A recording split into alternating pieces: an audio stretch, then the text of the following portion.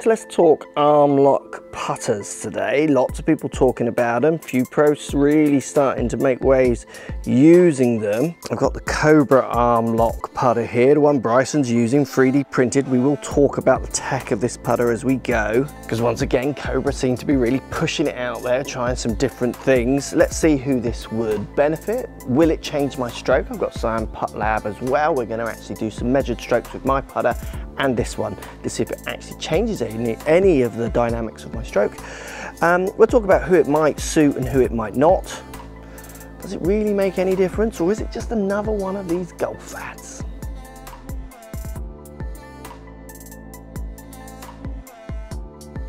So let's kick this off with what actually is an arm lock putter. It's exactly what it sounds like it is. It's a putter that basically touches, joins the top of my lead arm as my lead hand is down the grip. How you then put your second hand on, I see Bryson putting standard grip. I quite like standard prayer grip. So I like getting my hands quite level with each other while it sits touching my lead arm. And then I've seen other players reverse it as well. So uh, you can kind of play with the intricacies of what you like in the hold, but the premise is that you are locking this grip up against your lead arm. Now in the comments down below, we will talk about this as the video goes on. Obviously anchoring is banned, so you're not allowed to anchor, have a fixed point where it sticks. Obviously you could say this is a fixed point, but it is moving with this point. Should arm lock putters consider to be banned like anchoring? Um, what do you think in the comments down below? Let me know. There's certainly talk about people saying that maybe it gives an advantage or not.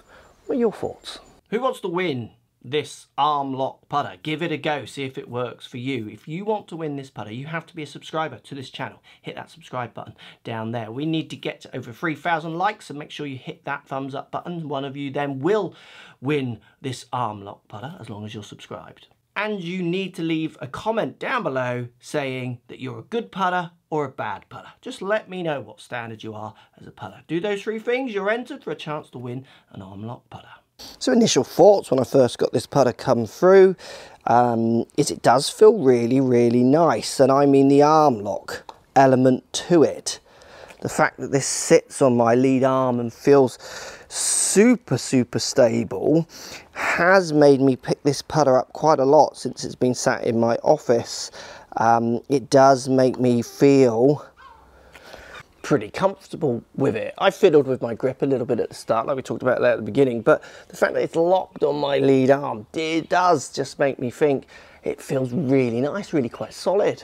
You do have to get used to the idea of having the shaft leaning forwards because it's not like a regular putter. It's not like my putter, which we'll show you in a second, where it all sits neutral. If it sits, if it stands neutral here, you see loads of loft. What happens if you've got to have it forwards for it to pair up with this lead arm? So it's like having a lot of shaft lean, basically. Um, that did take a little bit of getting used to, and then it also takes a bit of getting used to where I point the face in relationship to this shaft angle, because they're normally things say here with my putter that I line up. If I put shaft lean in, back or forward, you can start seeing the face starts moving around. So it took a bit of time to try and get used to having the shaft forward and then having that face turned, what to me felt basically closed, but it's not when you start kind of reassessing those lines in your head. And then the more I picked it up, I just felt like I was able to hold putts with it. I was able to perform with it. So what I've done and we'll kick off with this, is I was so intrigued with how nice it felt. I got my SAM Putt Lab out and I spent a day measuring my putter v the arm lock to see if there physically was any difference in how that putter was swinging and moving as I moved it around my body. Let's show you the results. So this really interests me. I was shocked how similar, if not exactly the same, my strokes were. It had no bearing on my six foot putt putting stroke. It was the same direction, angle of attack, the face was pretty much within a tolerance of very similar to my regular putter to the arm lock. It felt different, but the measured difference wasn't there. So who might it be there for? Let's carry on watching and testing. You might find that there are people who would benefit from this arm lock design. So what is it that feels so different with it then? What is it that makes me feel more comfortable?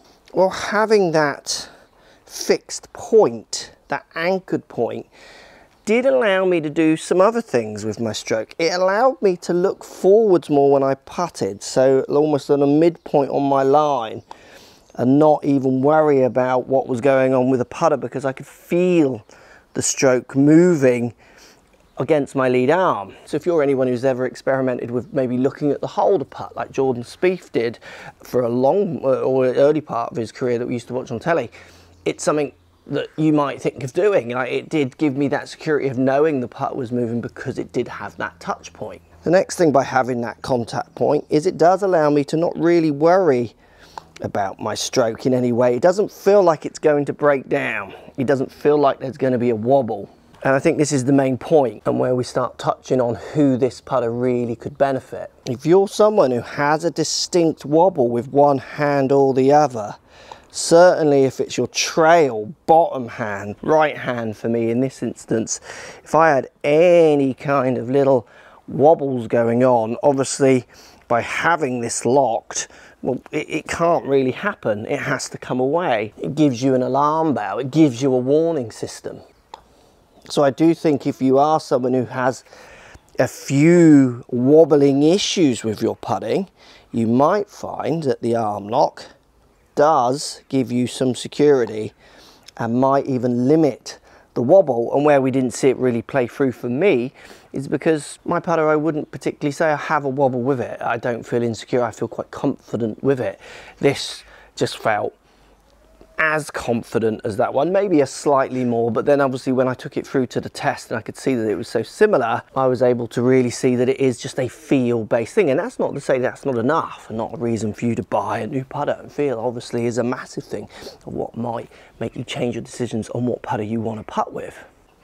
Should we have a look at some of the tech that goes into this Cobra one? Because out of any of the arm lock ideas I've seen out there. And I think this is driven by the fact that you've got this kind of flagship player playing this putter. Um, I think is really quite clever and quite smart when it comes to arm lock. Is if something were a direction you'd want to go, this would certainly be at the forefront of my testing group because it is made by someone and with someone really who's using it to win tournaments. And as you'll see from the tech, in off, there is plenty of thought and love that has gone in to this putter.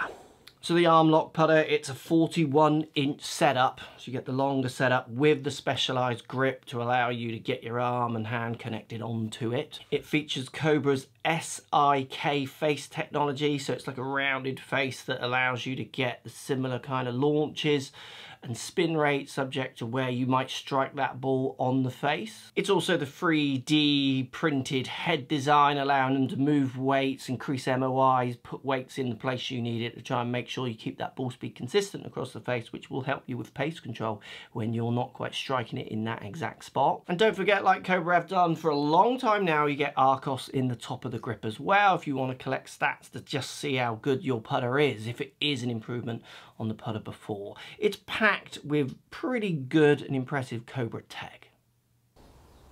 So could I use the arm lock? Is it something I would change to over my regular putter? Well, yeah, it is something I would consider, but for me, I would have to be having any kind of issues for it to be a consideration because this is a slightly silly thing, but it's still a thing. It's heavy, and it, if I'm carrying this around in a golf bag, it's a pain in the bum.